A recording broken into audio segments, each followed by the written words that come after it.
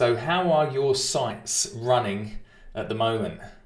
Are they smooth, on time, and on budget? That'd be a dream, wouldn't it, if your sites are running like that?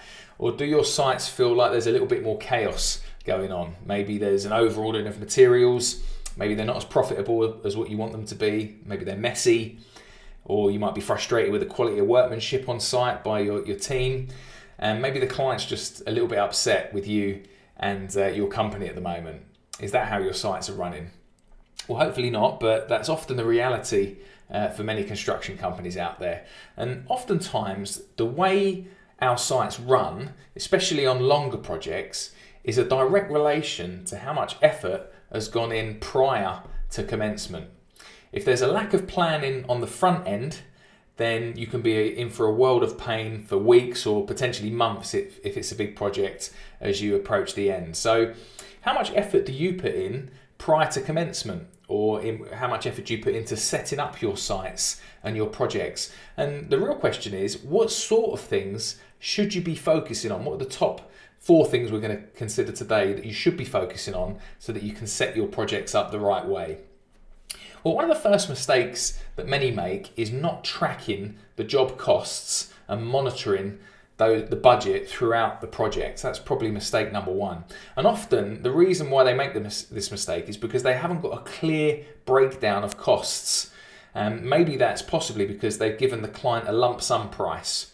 Um, or they haven't got a system for tracking those costs efficiently. So, step number one is break those costs down. Even if you've won the project, um, let's say, for example, uh, you've won a project for £100,000, an extension for £100,000. Even if you've won that project, I would break those costs down and possibly break them down per trade. So you could say, you know, how much is the cost to do the groundworks? How much is the brickworks going to cost? What's the carpentry package?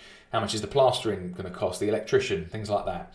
So that's uh, one way of breaking down the costs if you if you've won a job, and that that way it's nice and easy to monitor those costs and uh, check you're on budget as you go through. Now, if you're not comfortable doing that, maybe you're just comfortable giving lump sum prices, then I would use a QS or estimating software that you can get online quite easily that will, that will easily break that project down into phases for you.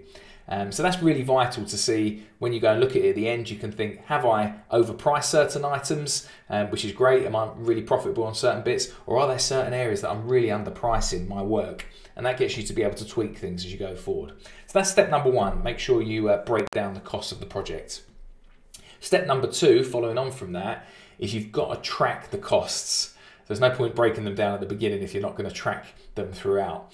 So either you yourself or someone in your admin team, you really want to make sure that everything is that is ordered on the project has a reference number on it. So maybe the site address or, or something else that you can remember, and then put all those job costs into a spreadsheet or onto an app or software, something like that. So there's plenty out there that you'll be able to track those job costs. So that's step number one and two. That's how you keep on budget when you're when you're doing your projects. Step number three is planning how long a project should take. Now, this is absolutely crucial, and again, it's one that often gets missed out. We can often just go headfirst into a project and not really plan how long everything's going to take. And this is really dangerous because imagine your projects go over time by just 10%. 10% isn't a lot, really, is it? Let's say a 10 week project takes 11 weeks. You know, that's not uncommon, is it? Maybe your sites run over by even more than that. But actually, this can be hugely expensive over the course of a year. Let's imagine your forecast to do a million pounds a year in revenue. That's uh, that's what your plan is.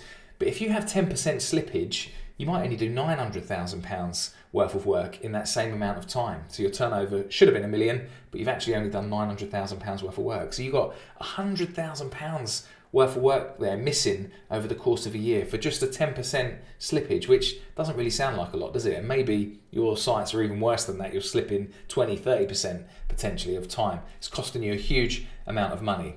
So, you, what you really want to be doing is planning your project's timeline out before you start and then be strict about reviewing those timelines regularly. Each week, I'll be reviewing where you're at on that timeline. Now, there's again loads of software out there that can do this for you. You've got uh, sites like Instagantt, Uh, basically, you're, you're uh, building a Gantt chart or a, project timeline. So Instagantt's good, and there's others out there that do this really quickly and really easily, and uh, it just helps you plan your project the right way. So that's step number three: plan the project. Step number four is get your health and safety sorted before you start the works. And the problem is, this is one I see all the time. When we're really busy, often health and safety is the, the, the first thing that goes out the window, isn't it? But as a company director, especially of a you know a construction company, there are such heavy fines or even imprisonment if the worst happened on site. You know, if imagine there was a death or something like that due to health and safety negligence, you as a director could really be held accountable for that if you're not putting the right systems in place. So it's a little bit of a sobering thought, but just make sure pre-start, get your health and safety documents done and uh, and, and filed away and, and use them throughout the project and that just give you so much peace of mind as you go through it doesn't take that long to do it but it's a step that often gets missed so there, there's four steps there that help you set up a site and as we said it's absolutely crucial um, we only covered four but if you if you get these things in place, I can promise you, just just these four things. If you started doing that, that would really help you uh, enable your sites to run a lot more smoothly, like a, a well-oiled machine. And ultimately, what is the aim? We're trying to give you, as the business owner, more time, more freedom, and more money. And part of that is planning your sites to run as smoothly as possible before you even uh, step foot in them on the on the first day. So if you'd like to work with me, there's, as I said, there's only four, four things there. There's plenty of other things that we need to do to set up the perfect site. But if you'd like to work with me to get the right systems in place for your business, then send me a DM or send me a comment below and we'll have a brief call and see how I can help.